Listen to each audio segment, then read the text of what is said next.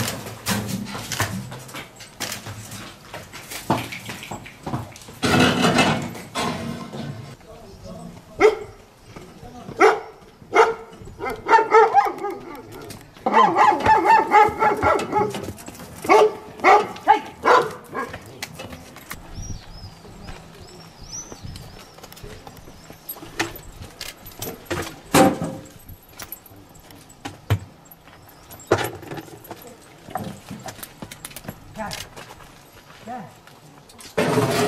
ters, ters. Ters. Ters.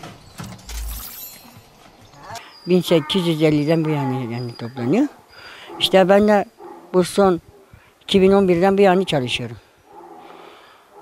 Yani mahalle arasında çöpleri toplayıp bir de ana yola getiriyoruz caddeye konteynere dolduruyoruz çöp konteynerine oradan da araba alıyor. Biz tenekeleri kazandıkları boşalttığımız zaman yine getirip şeye boşaltıyoruz. Mesaim saat 6'da başlıyor 3'te bitiyor.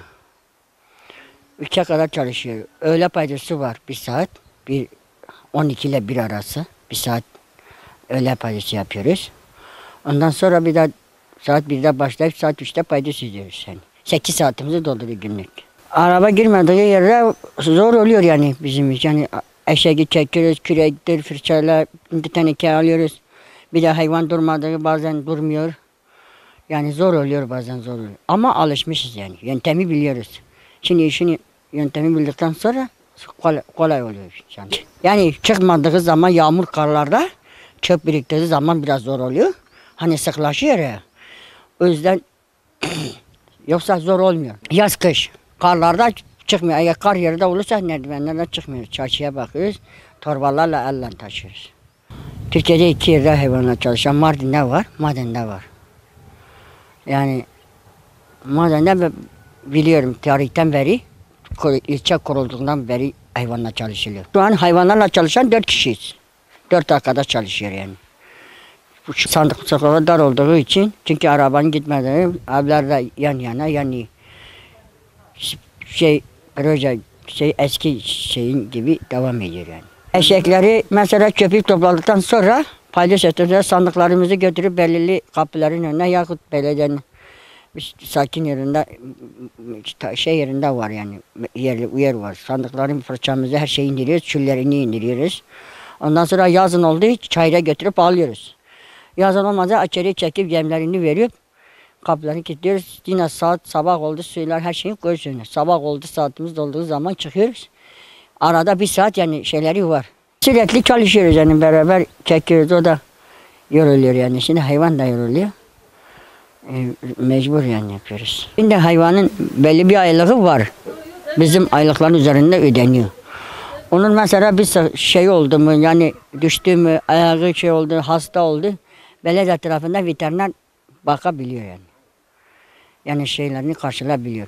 Yemini samanını belediye bize aylık olarak ödüyor. Dört tane hayvandır. Dördü de kadrolu personel olarak çalışıyor.